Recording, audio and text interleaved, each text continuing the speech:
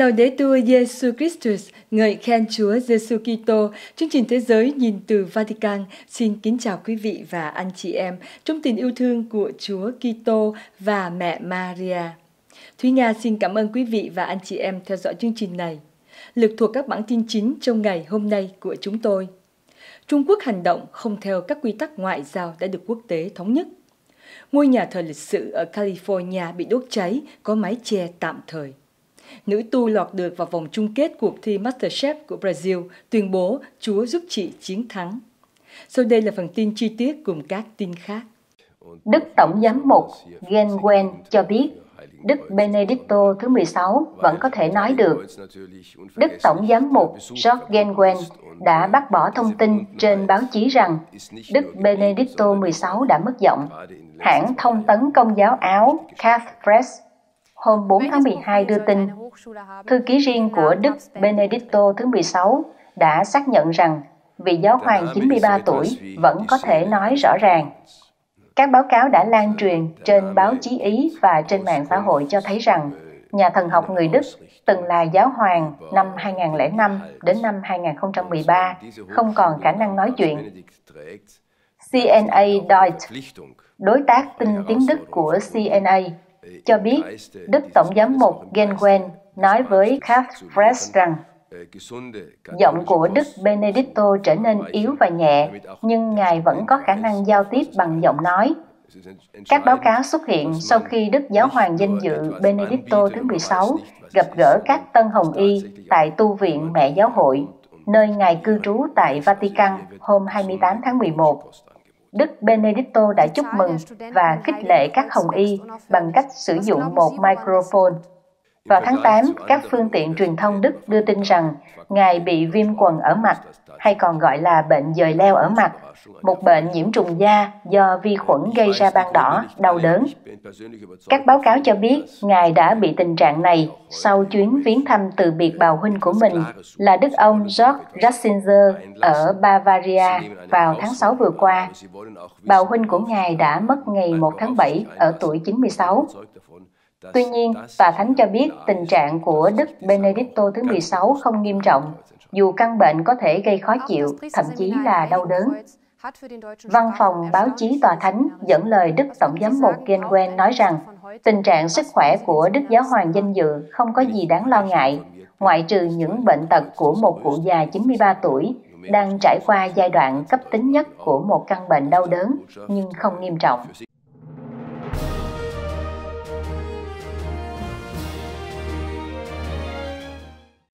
Trung Quốc hành động không theo các quy tắc ngoại giao đã được quốc tế thống nhất. Giám đốc điều hành của Trung tâm Nghiên cứu Menzies Nick cho biết Thủ tướng Scott Morrison và Ngoại trưởng Marise Payne đang làm những gì tốt nhất có thể để đối phó với Trung Quốc là quốc gia đang hành động không theo các quy tắc quốc tế đã được thỏa thuận về ngoại giao.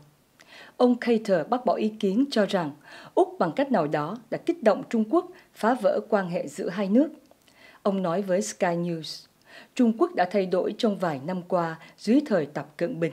Họ trở nên hiếu chiến hơn nhiều và hành xử hung hăng với rất nhiều nước láng giềng. Bất kỳ đề xuất nào rằng chính phủ Úc có thể làm khác với những gì họ đang làm, tôi nghĩ là không thực tế. Trong một diễn biến sóng sượng đến mức trên thế giới này chỉ có Trung Quốc mới làm được. Một họa sĩ chuyên vẽ các bức tranh tuyên truyền cho đảng Cộng sản Trung Quốc có biệt danh là Ngũ Hà Kỳ Lân hay còn được biết đến với một tên khác là nghệ sĩ chiến binh sói, đã dùng Photoshop để tung ra một bức ảnh hư cấu rất kinh khủng, mô tả một người lính Úc tại Afghanistan đang cầm một con dao đẫm máu cứ vào cổ một đứa bé. Vài ngày sau đó, cụ thể là hôm 29 tháng 11, người phát ngôn Bộ Ngoại giao Trung Quốc Triệu Ly Kiên đã dùng bức ảnh hư cấu này để lên án Úc đại lợi và cho biết ông ta bị sốc trước việc binh lính Úc đại lợi sát hại dân thường Afghanistan và các tù nhân. Tuy nhiên, chỉ một ngày sau đó, tên ngũ Hà Kỳ Lân xác nhận với tờ Hoàn Cầu Thời báo rằng đó là một bức ảnh hư cấu.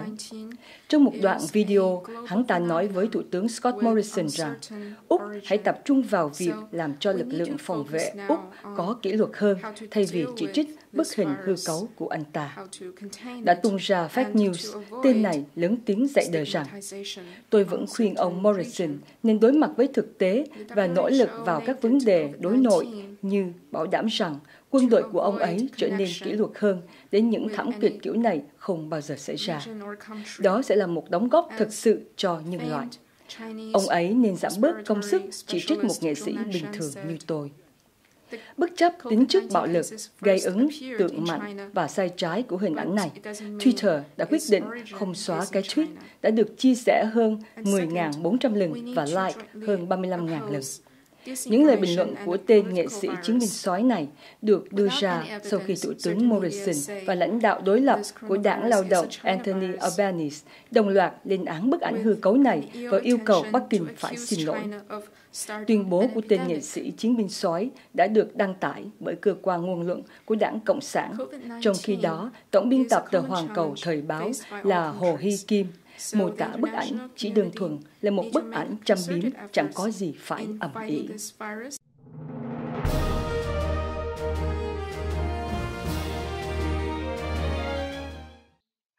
Ngôi nhà thờ lịch sử ở California bị đốt cháy, có mái che tạm thời.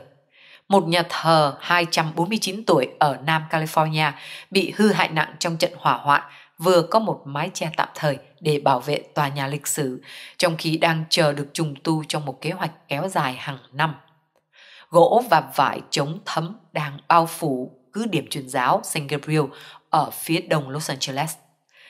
Với mùa mưa đang ập đến, điều quan trọng là phải bảo vệ cứ điểm truyền giáo. Adrian Marquez Alacon, một phát ngôn viên của Tổng giáo phận Los Angeles nói với tờ Los Angeles Times. Nhà thờ được thành lập vào năm 1771 là nhà thờ thứ tư trong chuỗi các cơ sở truyền giáo công giáo được thành lập trên khắp California bởi Thánh Junipero Serra trong thời kỳ thuộc địa của Tây Ban Nha. Nhà thờ bị bốc cháy vào ngày 11 tháng 7 khi nhà thờ đang trong quá trình trùng tu để đánh dấu lễ kỷ niệm 250 năm thành lập. Ngọn lửa thiêu rụi mái nhà bằng gỗ, làm cong vênh các dầm thép được lắp đặt trong một trận động đất vào những năm 1990 và gây hư hại nội thất, mặc dù bàn thờ không bị hề hấn. Nguyên nhân của vụ cháy vẫn đang được điều tra. Công ty xây dựng đang đảm trách việc thi công cho biết việc khôi phục sẽ hoàn thành vào tháng 11 năm tới 2021. Chi phí trùng tu chưa được xác định nhưng khoảng 400.000 đô la đã được huy động. Bạn sẽ biết chúng tôi đã hoàn thành tốt công việc và mọi thứ diễn ra tốt đẹp nếu chúng tôi có thể làm cho cứ điểm truyền giáo San Gabriel giống hệt như trước khi hỏa hoạn, giống như không có gì xảy ra.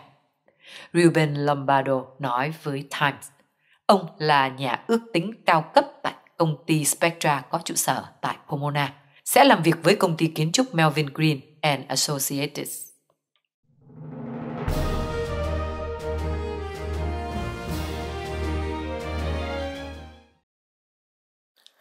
Nữ tu lọt được vào vòng chung kết cuộc thi Masterchef của Brazil tuyên bố, Chúa giúp chị chiến thắng.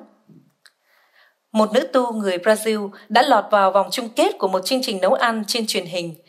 Chị cho biết chị đã nhận được sự giúp đỡ của Chúa và luôn cầu nguyện trong suốt thời gian nấu ăn. Chị nhận định rằng sự giúp đỡ của Chúa đã giúp chị nhận thấy con tôm mà chị được yêu cầu nấu chưa được lột sạch mọi thứ. Nếu tôi đã để y nguyên như khi họ đưa cho tôi, tôi đã không giành được chiến thắng. Nữ tu Lorene Caroline Tinti, một thành viên của dòng các nữ tu của Chúa Phục Sinh nói, Chị đã nấu món tôm và bánh tiramisu trong cuộc Masterchef Brazil. Nữ tu Tinti sẽ có mặt trong cuộc thi cuối cùng của chương trình nấu ăn năm 2020 vào cuối tháng 12. Cuộc thi Masterchef Brazil là một cuộc thi quan trọng và cam go tại Brazil Thí sinh thường là các đầu bếp chứ danh của các nhà hàng sang trọng tại Brazil. Cuộc thi được coi là dịp thuận tiện để quảng cáo cho nhà hàng và cho các cá nhân đầu bếp. Nhiều người đã đề cập đến việc tôi bình tĩnh như thế nào trong suốt cuộc thi, và tôi nói với họ rằng đó là vì tôi đang cầu nguyện xin Chúa giúp tôi vượt qua những thử thách. Điều đó đã giúp tôi tự tin. Chị Tinty nói với Catholic News Service. Chị Tinty cho biết chị đã học nấu ăn từ sớm với các thành viên trong gia đình. Mẹ, dì và bà của tôi luôn nấu ăn nên tôi học hỏi từ họ. Cha tôi cũng quan tâm đến việc chuẩn bị thức ăn. Chị nói với CNS. Chị lưu ý rằng kỹ năng nấu nướng của mình đã được cải thiện khi sống trong nhà truyền giáo của nhà dòng ở bang Minas Gerais. Chúng tôi có một tiệm bánh mì do hai chị em điều hành. Vì vậy tôi đã học về cách làm bánh ngọt và bánh mì, chị nói thêm. Trong khi xem TV, Chinthi tình cờ nghe được lời kêu gọi tham gia cuộc thi MasterChef Brazil và quyết định ghi danh. Tôi cần sự cho phép và ban đầu mẹ bề trên không muốn tôi rời tu viện để đi thi, nhưng các chị ở đây đã thuyết phục được bà.